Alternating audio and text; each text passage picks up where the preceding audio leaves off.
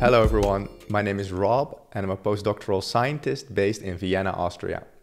In this video, I'll test the sleep tracking, heart rate and step counting accuracy of the Apple Watch Series 6. For the sleep prediction, I compared the Apple Watch against a scientific portable EEG device. For the heart rate test, I compared it against this consumer ECG device, the Polar H10 chest strap, both during exercise and during sleep. Finally, I tested the step counting accuracy by taking exactly 4000 steps. And for this, I also compared the Apple Watch to several other smartwatches. As always, I don't want to waste your time, so timestamps are in the description below and also on the timeline.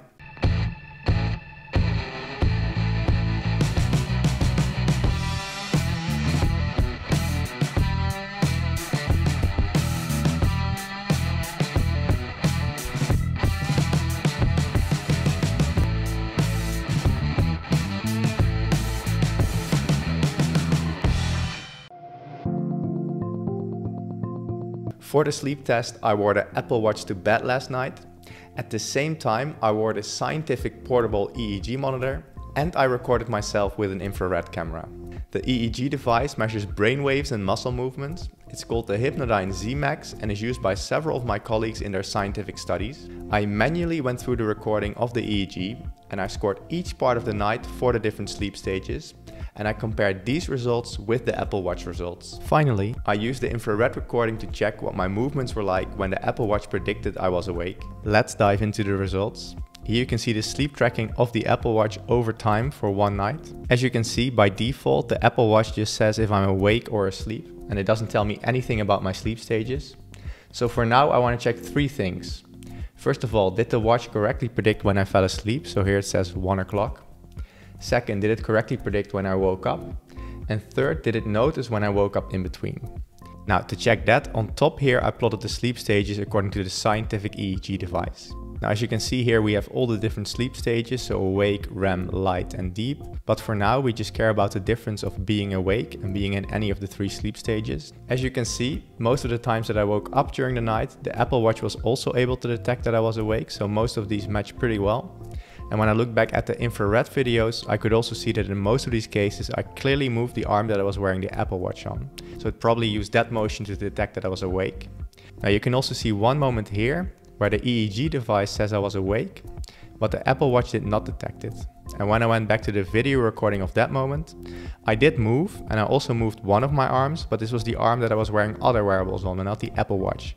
So that might be the reason why the Apple Watch missed this. I would also say that the Apple Watch is pretty good at detecting when I woke up here and it also detected these moments of wakefulness before I actually woke up. The only thing I would say that the Apple Watch was not so good at is detecting the moment where I fell asleep. So as you can see I went to bed at around 1 o'clock, but I didn't fall asleep until roughly 1.15 but I of course lay in bed still for about 15 minutes before actually falling asleep. So on the EEG I could clearly see I was still awake, but the Apple Watch cannot distinguish between me lying still in bed and actually being asleep. This is of course a general problem of these types of devices that rely on motion to detect if you're awake or asleep. Overall, I would say that the Apple Watch seems to do okay at sleep tracking, though the functionalities are still very limited, so it can only detect awake and asleep. In a future video, I will use different apps for the Apple Watch that can use the sensors of the Apple Watch to detect these different sleep stages like REM sleep, light sleep and deep sleep. And I will test how accurate they are. In recent tests, I found that both the Fitbit Sense and the Withings ScanWatch had trouble recording my proper heart rate. To test if the heart rate measurements of the Apple Watch are more accurate, I compared it against the Polar H10 chest strap which is generally considered to be one of the most accurate consumer devices available for heart rate tracking. I wore both the Apple Watch and the Polar H10 chest strap for two spinning sessions, a weightlifting session and during one night of sleep. This way I can check the heart rate at different heart rate ranges. So here I plotted my heart rate according to the Polar H10 on the horizontal axis and the Apple Watch on the vertical axis. Each dot here is a single heart rate measurement and this blue line indicates perfect agreement between the two. So if a dot is around this blue line, it means that the Apple Watch and the Polar H10 agree. So for instance, if we take this point here, we see that the heart rate according to the Polar is a little bit over 80 and it's also around 80 for the Apple Watch. And what I would say in general is that the Apple Watch is doing really great. So on the bottom here, we have my low heart rate during sleep. There's just these five heart rate measurements here that are a little bit higher than they're supposed to be, but this is not a big deal. And also at the really high heart rate ranges, the Apple Watch is doing really great. They're almost perfectly agreeing between the Apple Watch and the Polar chest strap and also here in the middle. So based on this, we can already say that the Apple Watch is doing really great at heart rate tracking. But let's look at some specific examples.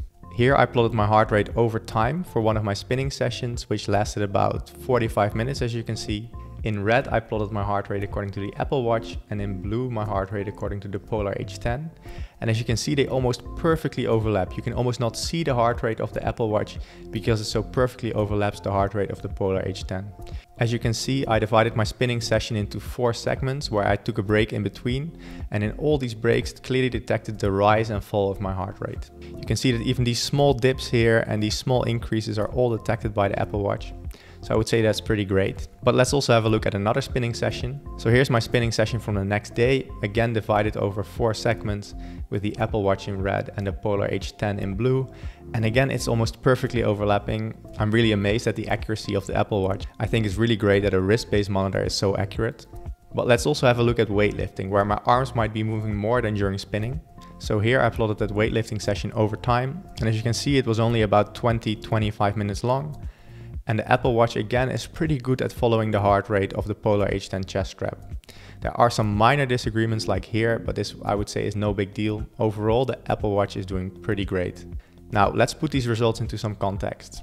On the left here, I've plotted the results I just showed you for the Apple Watch. In the middle, this is a similar experiment I did for the Fitbit Sense.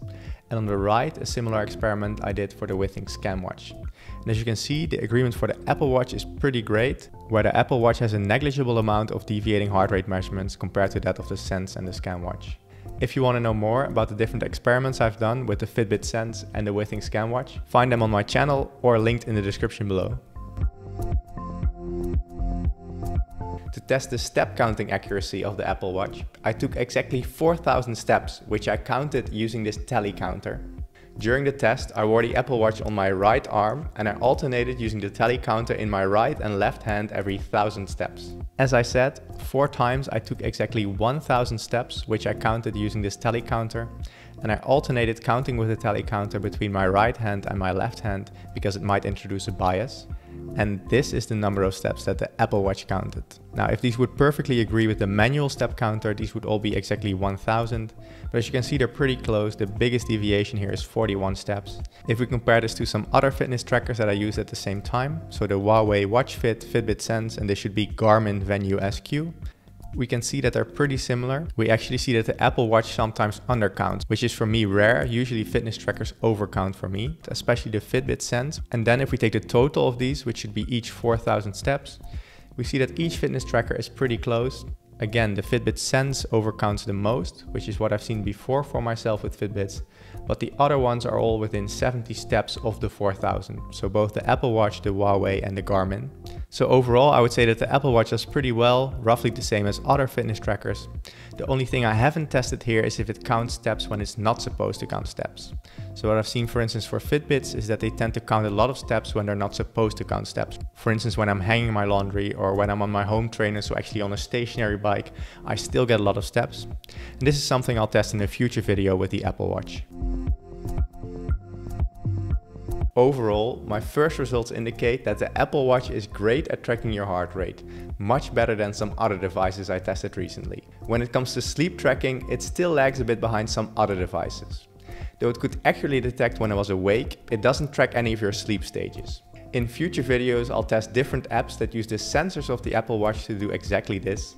The Apple Watch also seems to be good at counting your steps, Though in future videos I'll have to test if it doesn't overcount steps, so that it doesn't count steps when it's not supposed to count steps. For instance, when you're doing your laundry or packing your dishwasher.